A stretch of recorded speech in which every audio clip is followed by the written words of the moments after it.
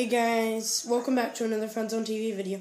And today it's Spider-Man requested by I forgot his name, but I'll put it in the description below.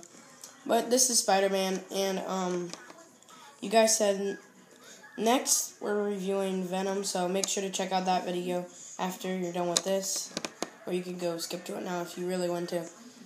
And so he has no back stuff on his pants. He on his torso, he has a little red belt thing here. I don't know what it is, basically.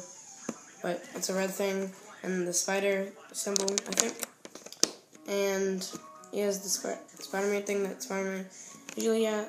I mean, his chest. And um, this is his mask. And that's all for today. Thanks for watching, guys. And make make sure to see the Venom video. And bye!